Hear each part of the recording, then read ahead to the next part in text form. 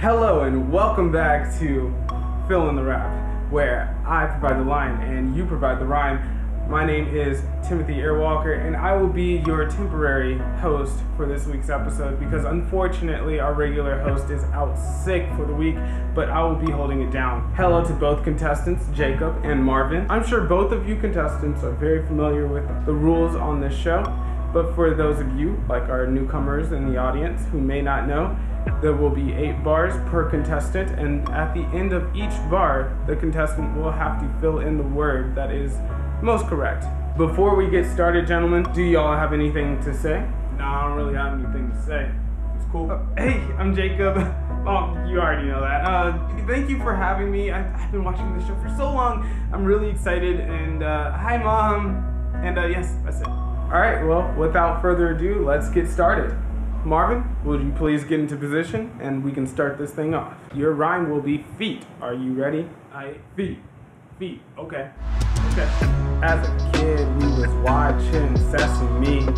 As a Ah. kid, you had to keep your room looking Neat. Dressing up, eating candy, trick or treat. Rat traps are also called the beat. On an airplane, please, sir, fasten your seat. Internet means everyone yelling. Yeet. Eat to Dakimas means I'm finna go and coast to make the game easy. Yeah, you call it a cheat. Yeah, that was a very lit attempt, Marvin. But I will have to deduct you two points because you did end up missing two rhymes. Okay, Jacob, are you ready? Please get into position. You'll be doing the same thing as Mr. Marvin just did here. Yeah. And your rhyme is tie. You got it? Tie. Okay. All right, tie, tie. Here we go.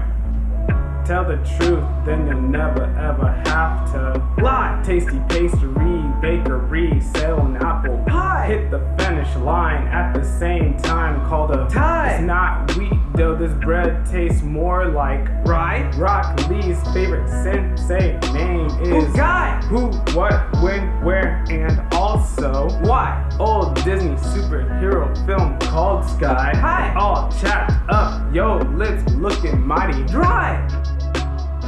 That was a fantastic run, Jacob, and you flawlessly completed all of the lines. I'm sorry, Marvin, but you will not be able to go ahead. Jacob, congratulations. You did great, Marvin. Better luck next time. Thank you for watching another episode of Fill in the Rap. My friends will never believe this.